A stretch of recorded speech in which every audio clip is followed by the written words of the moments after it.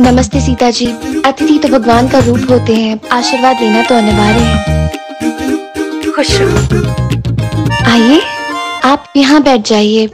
वास्तु के अनुसार वो उचित रहेगा। हम अपने पति देव के चरणों तले बैठेंगे। एक पत्नी को तो वही सुकून मिलता है। वाह क्या उच्च विचार और संस्कार है तुम्हारे।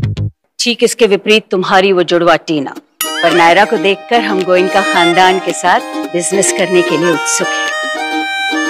क्या हम ये सही कर रहे हैं नायरा नायरा नहीं टीना।